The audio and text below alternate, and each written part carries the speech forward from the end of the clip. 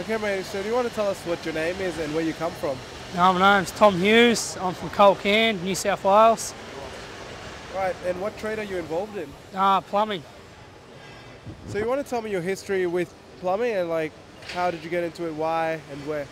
Uh, well, back in year 10, I had two weeks of work experience and chose to do it with Bluey's Plumbing and Digging in my local town of Culcairn. And he said they just wanted me for a labourer. And after that, said if he had enough work in the year after, he'll give me a job, and he gave me a job. What exact skills do you need to do plumbing? Uh, I just need mathematics and hand skills. What do you enjoy most about your job? Um, that you travel around everywhere, get to meet new people. How did you find out about World Skills? Like, how did you get involved? Uh, well, the River, uh, Riverina Regionals was held in Albury TAFE, and that's the TAFE I go to, and my TAFE teachers suggested I should go in it. So, okay, what's what is it that you're working on here? Like, what's your assignment or your duty? Uh, we've got to do hot, cold, gas, and that on a laundry. Got to do the sewer on the laundry, and put a hottie in, a tempering valve. How, how important is World Skills to your career? So, how's it helping you or benefiting you in the future? Uh, well, it sort of just gives me a name around Australia, so if I leave Culcairn, I'll, people will sort of know me. That's it. How did you train for it? Like this experience? Uh, well, Tyson Knight was my trainer, and he we, we did probably once or twice a week. Well, I got involved with World Skills in 2007 in a regional comp. Went all the way through to Sydney in the national comp and then through to Canada.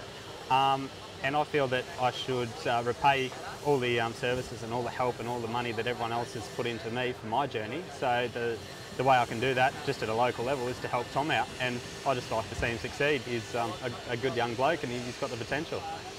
So you obviously have very high expectations for Tom? Very, very high expectations. So yeah, I, I, I try not to force them on him but uh, I think he knows that he, yeah, he, he can do a good job. What do you believe are the importance of having a World Skills comp? Like how does it benefit the other participants? Well, there's a lot of apprentices within Australia. Now, they're just apprentices. By competing in a World Skills competition, it opens that many doors. When I first started my trade, I did not expect to, to be in this sort of situation. You know, you meet some great people along the way, some great contacts. Um, there's a lot of opportunities for scholarships and uh, promotional stuff, uh, overseas travel, a lot of doors are open. So I think the importance of, of holding these sort of in, international and national competitions is, is critical to the Australian trade. So you'd say mostly all this to, with credibility and being acknowledged?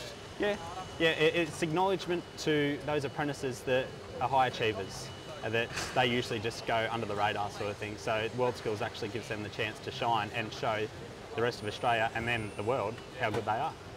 Uh, what would you recommend for someone who'd like to participate? Do it. Don't look back. Tom was very hesitant when he won the um, regional competition. Um, he wasn't quite sure what he got himself into.